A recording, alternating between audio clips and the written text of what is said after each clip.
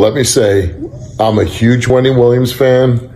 I love Wendy Williams. I was on her show numerous times. Wendy treated me great. Um, our shows basically started at the same time. I was a big fan of her show, so I'm I'm all in Wendy Williams' corner. But when I watched last night on that show, disturbs me because I doesn't think it does any good for Wendy. Doesn't make her look good.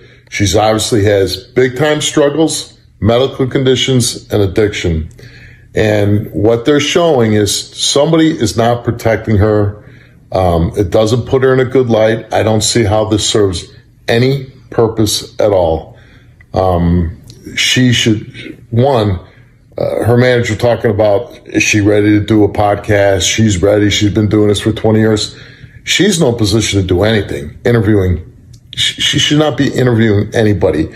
So before you start talking about putting her back out in the public, you should be getting her help, making sure she recovers fully and that she's able to do it because I got to tell you, I was disturbed and I'm saddened by, I feel people uh, using her.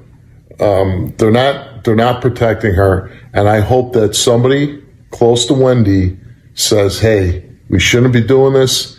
We got to get her help and put an end to this nonsense. So we're all praying for you, Wendy. Hey, my Nefertiti's and Kings out there. You already know who it is, and we are back with another great episode of a Nefertiti Girls Living in an Ethnic Modern World. So, today in the news clip, we have Steve Wilkos and Tami Roman. Now, Steve Wilkos and Tami Roman, they are coming out and addressing their concerns that they have with Wendy Williams after viewing her two part docu series with a Lifetime Movie Network. Where is Wendy Williams? Okay.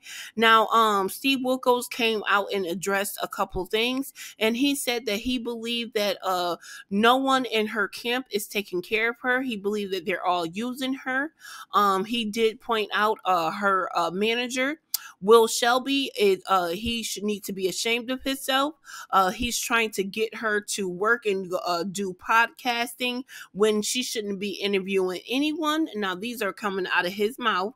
Um she shouldn't be interviewing anyone um, and she should be trying to concentrate on her health and battling her addictions. Okay. Now, you know that Wendy Williams obviously suffered from alcoholism and alcohol addiction, but she also still probably suffered, and this is allegedly from the white powder donuts. Now, uh, it was put out there that she was still doing it, but who knows if she is or if she isn't. Um, at this point, it is nice for Steve Wilkos to come out and address his concern as a fellow, uh, you know, um, talk show host himself. You know, um, just for someone to, um, from inside of her world, uh, to come and address and speak up for her and um, say that he's wishing nothing but the best and prayers for her is is absolutely wonderful. Also, uh, her guest that she had on was Tami Roman. Um, she said that Williams, uh, Wendy Williams, always used her platform platform um, to put me in a, a better position to win. This uh, saddens me and that Wendy, you are, are, always loved and respected by me, and I haven't uh, stopped praying for you, uh, the queen of media. Okay, now um, I paraphrase that really quick, but uh, like I said, you will see all that um, where you can read it uh, yourself.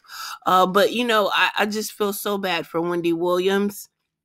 Um, but make sure you like, comment, and subscribe. Um, make sure you guys comment down below and let me know what your views and thoughts on Steve Wilkos. Uh, do you believe what he was saying is true about the manager? And do you believe that he uh that she has a whole bunch of vultures around her? Um, make sure you like, comment, and subscribe. And if nobody told you that they love you, just remember God loves you each and every day in each and every way. Outie!